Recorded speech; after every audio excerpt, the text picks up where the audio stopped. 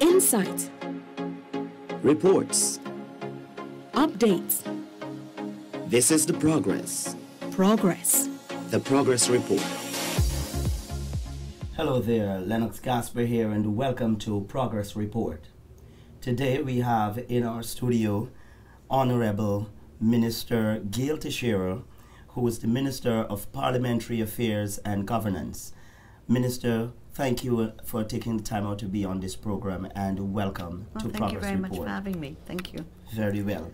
Minister, the PPPC government, in its manifesto, has promised to embrace the inclusive governance model. From the government's perspective, and as a minister of governance, what is the government's idea of inclusive governance? Well, first of all, Lennox, I, I think that it's important for us to have a discussion as Guyanese of what we mean by inclusionary democracy, which is what is covered in our Constitution. Article 13 makes it very clear that our people must be part of decision making in an incremental, increasing way. So the Constitution recognizes democracy as something that is built and it develops as we go on in time. And so that it talks about increasing involvement and participation of the people in decision making of the country, particularly on issues that affect their lives. So that's the inclusionary model we're talking about as provided for in our Constitution.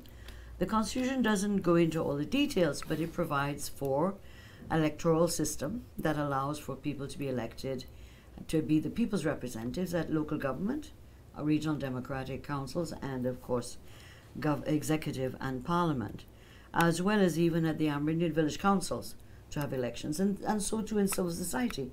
The whole issue of democracy must infiltrate every aspect of life and every organization in Guyana, government and non-government. So first of all, the issue that the president president keeps talking about inclusionary democracy, inclusivity, um, participation, transparency, accountability. These are all the platform that in which we build our government. And so, one of the characteristics of the PPP, and if we look from '92 to 2015, was a whole range, uh, a consultative process that was emerging. So, when we did the domestic violence bill, the, the medical termination of, of pregnancy bill, highly controversial. It went through layers of consultations.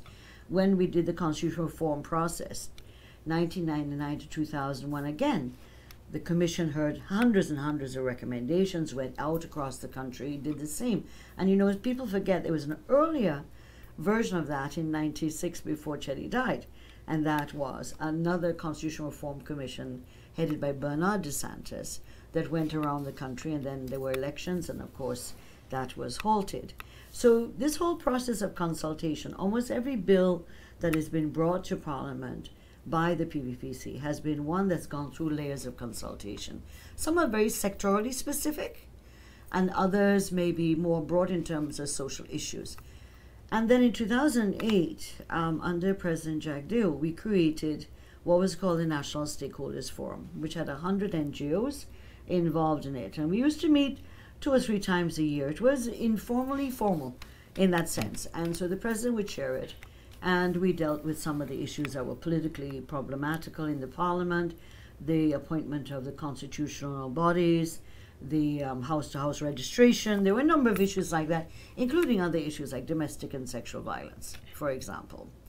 And so then we have the period of 2015 to 2020, where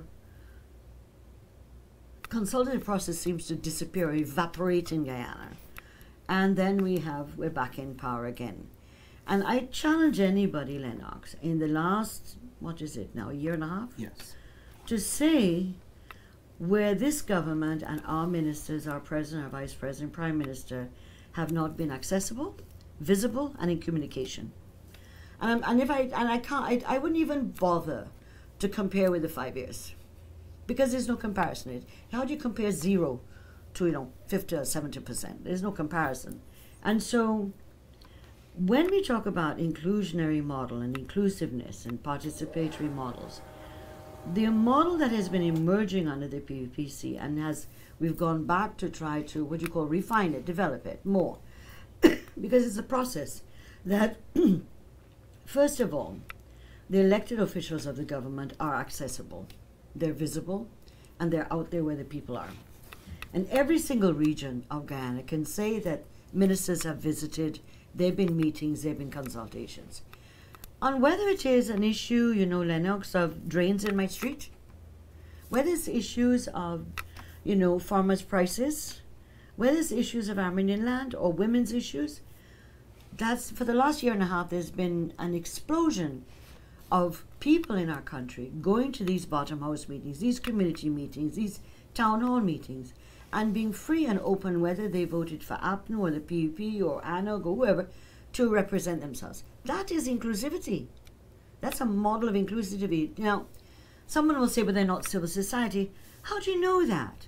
When you go to a community, you have farmers' organizations. Farmers come, they belong to organizations. You have women, they belong to women's organizations. You have faith based organizations, people who believe in God from different religious points of view, but they come from the bedrock of some organization they're associated with.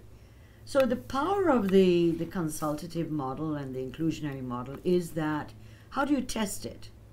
Are people involved in a variety of layers? And can we say on any which day we, we randomly choose that people are involved. That people is somebody talking to somebody about what issues they need to bring. So that's the first thing. And so when the, are discussions in the press about civil society, I challenge that because the people, the ordinary people who are out there in the communities, the rural areas, the townships, and so on, have a voice that they didn't have for a long time. They have a voice. So let's give an example. I understand when Vice President and his team was in Linden. They work from morning till midnight on Sunday. I understand 800 people going forward. Isn't that consultation? Isn't that inclusion? Or is it because they didn't have a label over their head that I'm representing X organization? Come off of it. The power of people is in the fact that they have won the right to speak, they have the right to present themselves, they have the right to criticize, they have the right to give their opinions. And so those rights are being enshrined, they are being promoted, there, there's nobody being shut up about it. You have the freedom of the press. So that's one layer. This large, if you look like a pyramid, the large layers of people who are involved on a daily basis. When you go out and do the gold program, when you go out and do Vin, Minister Vindi's WIN program, and you consult with them and you give them applications, explain to them how the programs work in their benefit, and they answer them. Isn't that part of consultation? When this week, I think it was, um, VP, uh, Vice President, had a meeting at the Convention Center on drainage and irrigation, which is a major issue. We're a flood-prone country, it's, you know, and we thought it was just the coast. Now it's all in the interior. So climate change and so on. So when you have the Vice President convening a meeting with a large group of people about an issue that's of national importance, but also particular interest of pharmacy, and of course interest for ministers of finance because it's economy is economy and how much revenue we lose if there's a flood, and it should be of interest to all of us people because we lose when there's a flood, our personal possessions as well as uh, we, uh, you have shortages. So you have the president going out to different areas and meeting with people every single week. There are people being held. So that level of people involvement is phenomenal. And I challenge anybody in this country to find some other part of this region where this is taking place, anything like it. The other thing, though, Lennox, is okay, let's move up the ladder a bit more. You have NDCs and RDCs who should be doing consultations and outreaches. Sometimes they're not as great as, as they should be. Then you come to government policies at the higher level, executive. We have bills that we bring. So, the whole topic on the local content bill, for example, which was had consultation at the convention center. There were more than one consultations on it, and then the Natural Resource Fund. The whole issue of not enough time. This was a bill that was assented to by Mr. Granger in January 19, 2019 when the government had already fallen. It came back and was morphed with changes we made. Large parts of it remain the same, and the large parts we changed.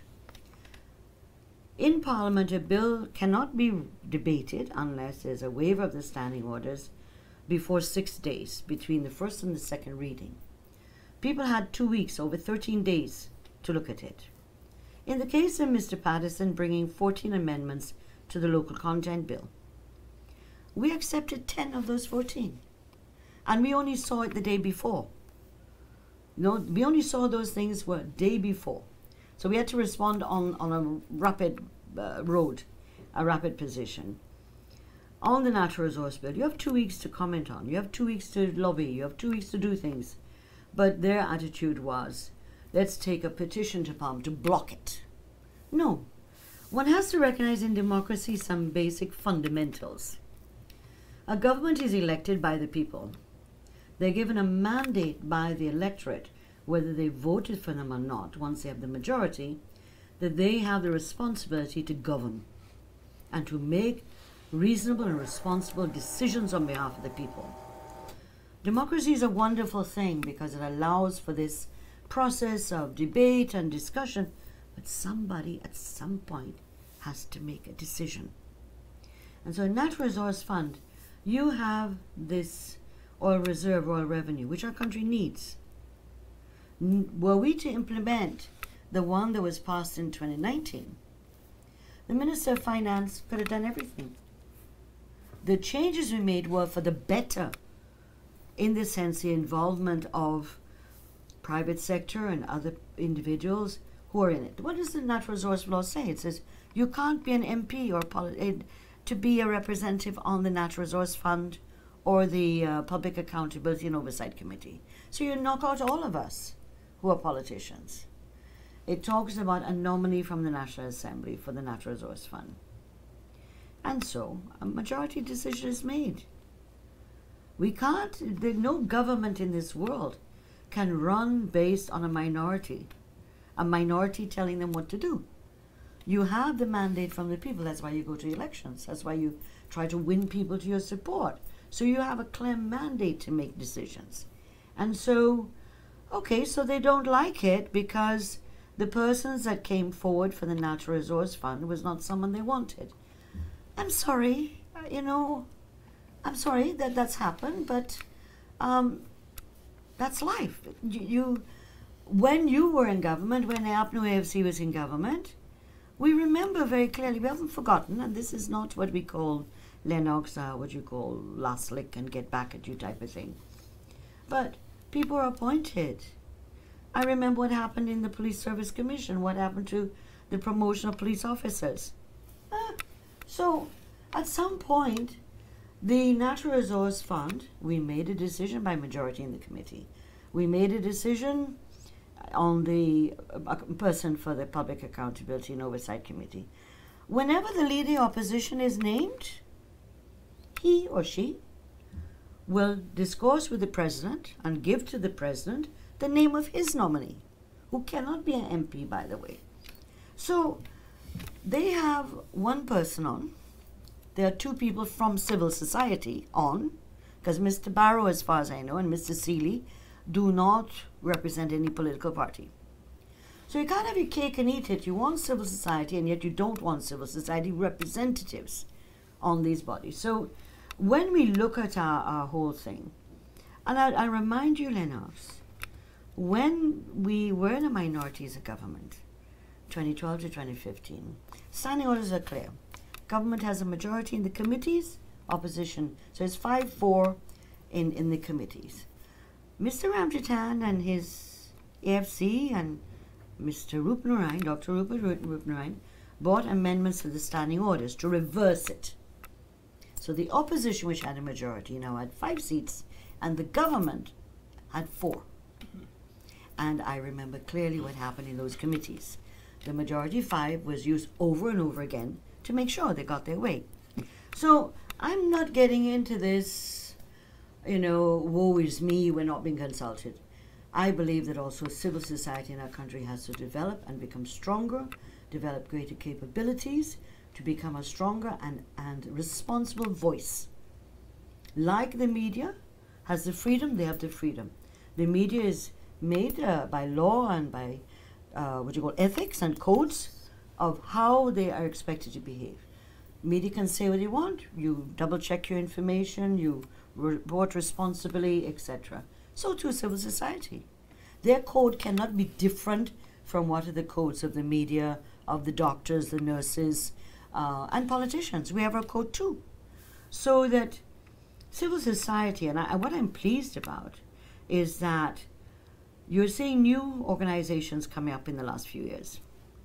And interestingly, with young people. And that, I believe, is the future of this country. And so I refer to the Natural Stakeholders Forum of 2008 to 2015. What I'm doing now in this new ministry, last year we had a number of consultations, mainly with faith based organizations, to do with COVID and uh, anti vaxxing and to try to get them to be more a partner in the whole uh, campaign to try to reduce uh, COVID transmission. This year, I've had two stakeholders meetings, one in January and one in March, and we have uh, agreed we'll meet every two months. So the first meeting was we had over 60 people participating by Zoom, representing a broad cross section of NGOs. And then we had a second one in March where we presented, we asked the to them to, to be apprised of the draft low carbon development strategy. Which because some of the NGOs I deal with may or may not be the ones that get invited to convention center mm-hmm. and stuff like that, but they are civil society bodies. And so the whole uh, consultation on the draft low carbon development strategy is going to go to every single region of Guyana. As the original low carbon development strategy took two years and went throughout Guyana in every village and everything else. So that is being repeated. That is being repeated. So I think that if one looks at the whole issue from a very narrow perspective, then you're going to come up with these things that, oh, this NGO or this NGO. By the way, some of the NGOs who are complaining were invited to my stakeholders meetings. Now, one or two of them came under different names, under different NGO names, mm. but they, their the NGOs who are complaining were invited, and so, but they didn't speak. Let's let's talk um, about the complaint. Yeah. And bring um, come more. There are some opinions that mm. are ventilated in the media that these civil societies and other groups are not basically involved in the decision making. And um, you would have interestingly explained that the various groups as as the government mm. go out and meet with various groups farmers farmer society and all of that and you very beautifully put it that maybe just because they don't have a certain name or label yeah. or class or class that's why they've probably taken the position to say that civil society is not being mm. um, involved or represented. Right. Could your thoughts in clearing that up? I, I think that there, uh, I went back to use the word narrow. Let me give an example. In the meetings with the Amerindian committees, just as ministers going out, we came across the problem of birth certificate registration. So children are born, some are registered, but they don't have the birth certificate. Some people never get registered. And this has been coming up for years, and it came up again when we got into government how do we talk about making decisions? They raise the issue. People may not know exactly what the law needs to be changed in.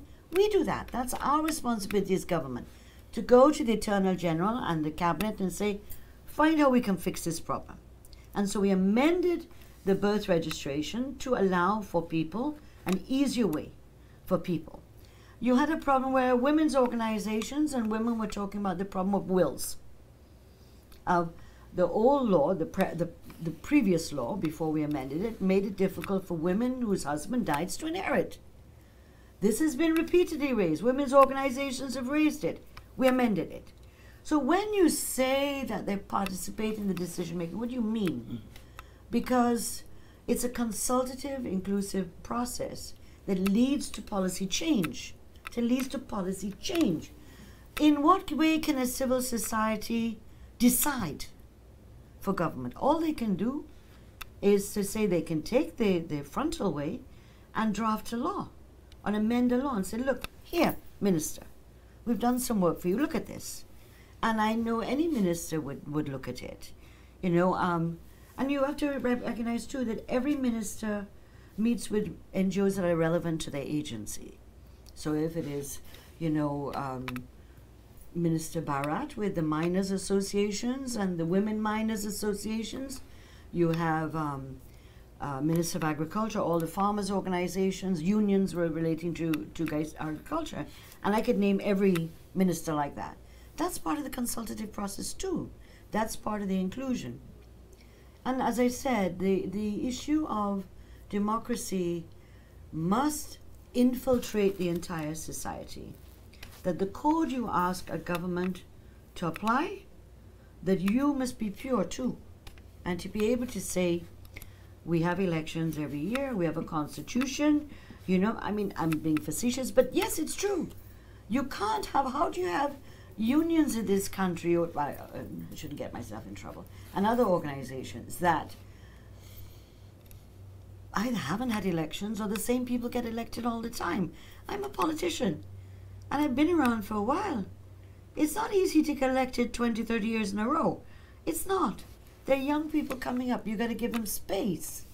You know, and so, I mean, but as I said, I truly believe, Lennox, in that the power of the civil society and I have advocated in the government uh, with the some of the uh, UN and donor agencies that we look at how can we strengthen them in terms of the administration. There's been a lot of money given to NGOs for programs and all sorts of things. But I think we have to go back to systems, procedures, institutionalizing structures in the government and outside the government. So you want to be an NGO representing uh, persons in trafficking, persons who are victims. Yes, we need people to come on board and help. How are you not just to have the donor money and you go around doing things, but the issue is afterwards what happens? Where's the sustainability? Where's the continuity? Now that's a challenge for government, it's a challenge for civil society too. So I think that this the whole issue is being looked at in a very um, staid manner and not a dynamic manner, and trying to create a situation of we against them and them against us, which I think is it's it's uh, it, it's just trying to create a situation instead of looking at what is a progression and how can we better improve it. Minister, what is the government's stand on a project report re- um, release, such as the study and of a document relating to the Amaila Falls hydropower project? This was um, related in the newspaper. Also. Yeah, I remember when we were in opposition that um, uh, we had uh, raised, remember, they voted twice against the Amaila Falls project in 2014. And so, um, and I remember we had written a Norwegian government when we were in opposition, calling on them to have an independent body assess Amaila Falls. Um, and the government uh, that, uh, had agreed to that as well. And so the study was done by an independent uh, consultancy chosen by the Norwegian government. None of us had anything. So what I do recall is that the, the newspapers, including Kaieteur, I think if I'm right, covered a whole range of aspects of the study. So my impression was that it was available. Obviously, and my memory from the quotations was that the company said that Amaila was the most viable and the most ready hydroelectric project, hydropower project for Guyana at that moment, and it should proceed. The so I have no, from what I understand, I don't think that there's a problem with making it public. Um, that is an issue, I believe, for the Norwegian government and for the consultant and so forth. But we have remained steadfast as a party uh, in the opposition and now back in government about bringing Amaila back on. And so we haven't deviated from that. There may be changes or amendments in design, those are technical issues of no, no great importance. The issue is that we are talking about an energy mix of hydro, solar, wind if there's possible, uh, fossil fuel, natural gas. And so Amaila is one of those that is part of that energy mix. And we will remain faithful to that. So if it is that the company or the consultancy or Norwegian government is willing to make that available, yes. But this is one of the document that was mentioned basically in that report um, accusing the government of not involving civil society into decision making, and they were the question or, or the statement was, uh, um, for example, why this document was not made.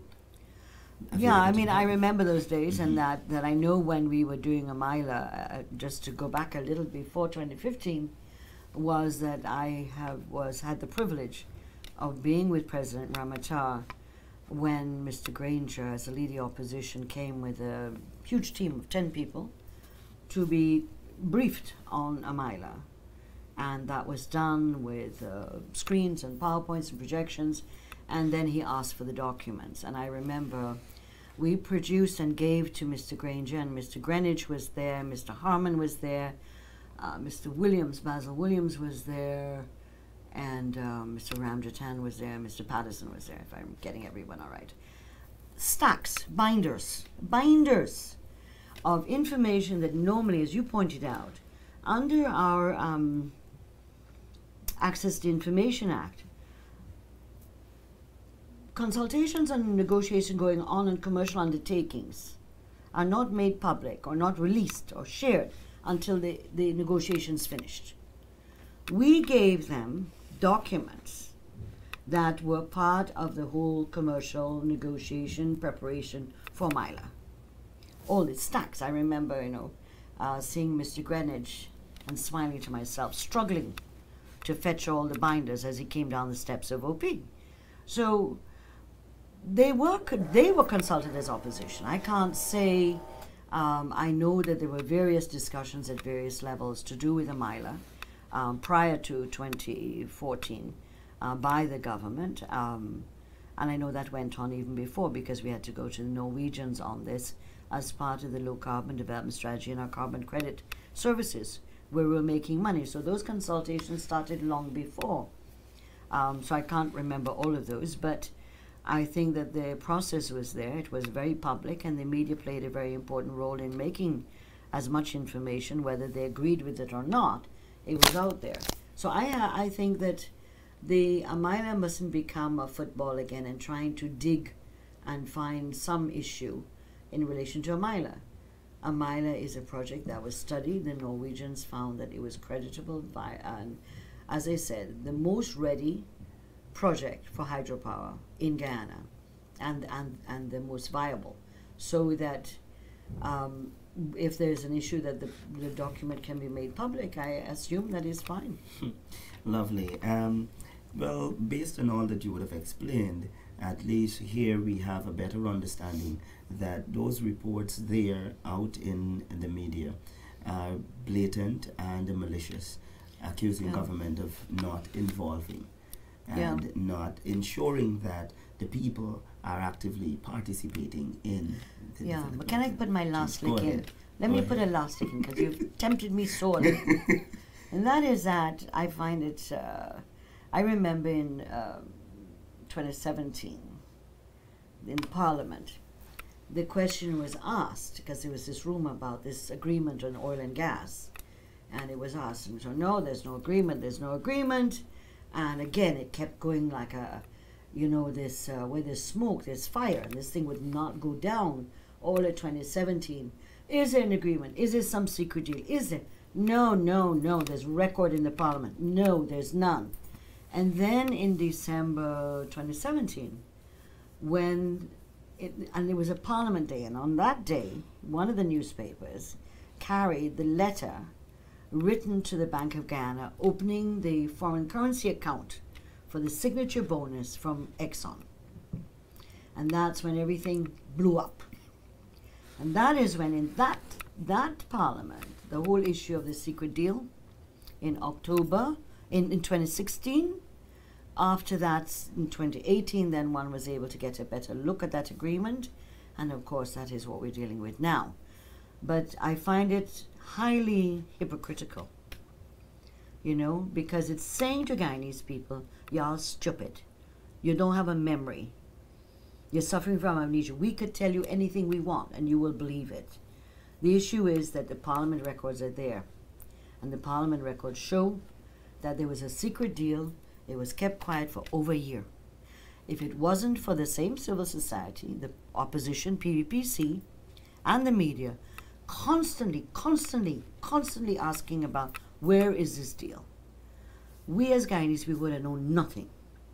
Nothing. It would never have come out. And so we have to look at the lessons of what we've learned, you know? And so I think that if there, there are and will be sometimes in government things are being discussed that are not ready to be made public. There are very sensitive issues in government that can, can affect your ability to negotiate, can affect your ability at a variety of levels at the international and regional level. That is what government's about. And so when you're in government, it's not every day you can go out and say, well, we just had a discussion on so and so. Oh, you can't do that. That's not how government works. What you want to make sure with government is that is it working in a transparent and accountable way? Is information available? But you can't also, and, and I challenge in, in many countries, where what can you know certain details at the moment? Sometimes you have to wait for that to be disclosed or to be reached at a certain point where you can make it public. And so I think that those who know these issues well, like what I'm saying, I think are being disingenuous in trying to say to the people, in some or, or sometimes fooling the people, that oh they're not consulting, you know, and so we we we're democracy and we've gone through a traumatic time in 2020, five months waiting, a whole country, a whole nation on on pause, on pause in the middle of COVID, because a minority said we don't accept the statements of poll. And that is why there's a little bit of the, the power of the majority, the power of the people, all the people. But we cannot be held back in our transformation and our movement forward by just a, a minority that doesn't have a constituency. So it's not to dismiss them and to say they don't have a role to play, but they cannot stop mo- forward movement. But they have a role to play and they must play it well. They must play it well.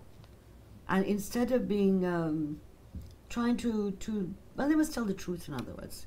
And if they want to be, and I think every minister I know of, and I know that there are organizations that will come to me and say, Minister, we've been trying to do this, we can't get this through, could we meet me? Sometimes it's nothing to do with what I do.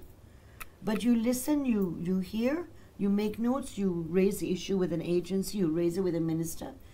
That's that's part of the process to make sure people have a hearing, that they have a voice. And I'm prepared to play the role in that, and I know my other colleague ministers are. That's part of being accessible, visible, and, and inclusive. Thank you. As Minister with responsibility for parliamentary affairs, would you care to comment on the state of affairs with the opposition? Uh, a bit ticklish here. there are currently two vacant seats, one of which should be the opposition leader. Does this affect the work of Parliament? And if so, how can this be addressed? It doesn't really affect the work of Parliament. It affects more the issue of constitutional appointments. So you could have a situation in a Parliament where there isn't a leader opposition for some time. Um, government has no control over that. But for, for constitutional positions, like when we have the next sitting, which should be soon, we have the Ethnic Relations Commission, which requires a two thirds majority, but not the president's involvement. We have the Police Service Commission, which involves the president and the leader of, of the opposition agreeing to who would be the chairman of the four that are passed in Parliament.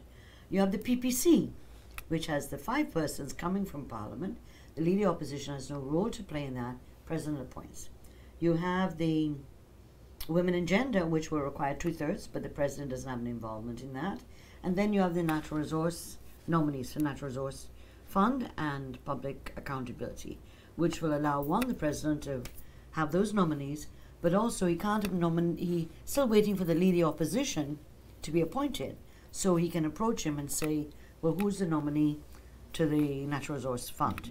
And so it affects more the opposition from the point of view that they are not being able to play their role as provided for by the Constitution. And in a sense, um, it could delay uh, the, the appointment of various commissions or constitutional positions, etc. So it's more that area that it impacts on than, and at this point it hasn't done so in a big way, but it could if it extends for a long time. You have clearly outlined um, the policies and programs uh, implemented by government that would have impacted the lives of Guyanese people Mm. over the years. How it's been two years into almost two years into this government's Mm. administration. How do you see the um, in terms of where we were and where we are today? How do you see that um, impact on the on the Guyanese people coming? Well, let's go to another level in terms of we have we are taking back what we lost, and that was our preeminence in the international, regional levels, politics, international arenas. We're taking back what we lost. So in the climate change, in the agriculture, these are we're taking back, which is these are areas of our forte as a country, and we're taking that back in, in a good way. And the fact that all roads lead to Guyana, that that is part of the what's taking place in this country. So yes, we have many many issues to confront and to overcome, but at the same time, the the mood out there, the view out there of Guyana, uh, is extraordinarily positive one. And how do we as a people capitalize on that? From the government's point of view, One Guyana Low Carbon Development Strategy are the overarching pillars on which we are going to move forward with. There is now almost every week some investors flying in or somebody from um, the Middle East or from Canada, United States. We've never had this kind of attention. And also to, it challenges us because it's about investment and what's best for our country and making sure we get the best for our people. And um, so those are the big issues, the big issues. And I, I'm, when I saw the CPL, uh, what you call, the Carnival Cricket, it's a big achievement for us to be able to getting these games, oh, and for three years, for three years. And people think, well, okay, that's not very important. It is important. It's important to our people. It's important to our economy. It's important to our image. And then you have, of course, all the other issues, Lennox, you're aware of, the programs to reduce poverty, um, the cash care, finding jobs, training, house lots, water. These are ongoing pro- programs all the time that keep going. New the dialysis uh, patients grant of six hundred thousand dollars. Um, we had we used to give a, a subvention, a subsistence to dialysis patients up to 2015 of three hundred thousand dollars. And from 2015, well, after the government change, to 2020, it was removed completely. And even though we were in opposition, we made representation to the Minister of Health, to the Parliament, that this be restored. It never was. It is now restored and doubled. And instead, now the people get the cash in hand if they want to use it to take a taxi to the dialysis center uh, or to pay for it. That is their business. But $600,000 and dialysis is expensive, no doubt about that. But people were being denied access to dialysis all these years. I know some of the patients could not afford and got no support from APNU AFC government. So these are what you call the interventions to make people's lives better, to improve the quality of life. While we try to create more jobs, right, to, to deal with the house lots and the construction and the highways and the bridges, at a certain point there'll be too much work that available and people I think have to make up their mind, particularly young people and young men in particular, that do I want to sit in this village where there's no work, but there's work going on on the Demar Bridge, or there's a work going on on a highway, or there's a work going on in a drainage canal. I can do these things. And to leave where they are and go to where the jobs are. Because that's what happens all over the world. You go to where the jobs are. The jobs don't always come to you. And so I think it's a whole, whole uh, what you call mm, uh, socio-cultural change of mindset we have to go through to in order to meet the challenges of this transformation that we can go through. It's our it's our This is our time. This is Guyana's time. And we waited a long time for it. And we've gone through ah, much trauma, much difficulties, much tears, much tribulations. But this is our time as a people. And I truly believe that we can do it.